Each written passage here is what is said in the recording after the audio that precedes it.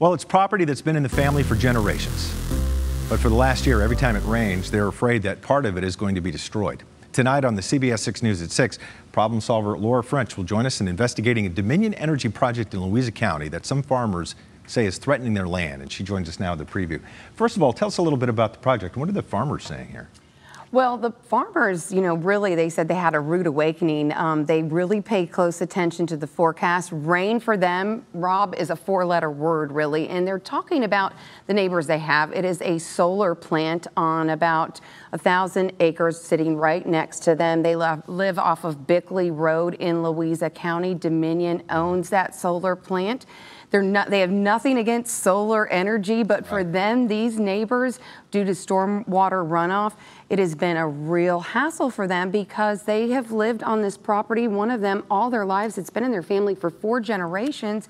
And, um, you know, they said, as you can see right there, that is their backyard, Rob. Wow. Um, they said that this is becoming a real nightmare because the property that they own and love, you can see the pictures don't lie, they say, it's being literally washed away with each and every rain. Well, look, you're an investigator here. You've collected a lot of this video, you've collected some of the documentation. Is it backing up the allegations here?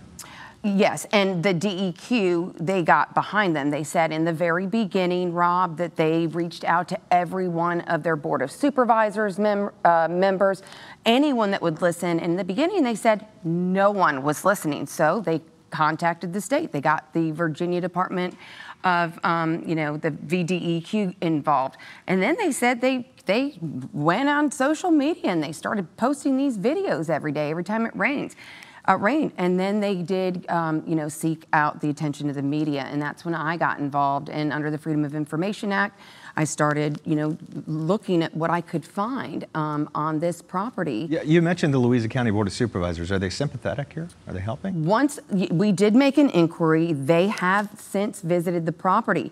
Um, and they now, um, as recently as their September 7th meeting, they're using words on this project um, like catastrophic, terrible. Now, we want to make sure that we're being fair here. Dominion, even before I could reach out to them, they knew that I was investigating this. Mm -hmm. They reached out to me. Mm -hmm. They said, let's do an on camera interview. They have taken responsibility.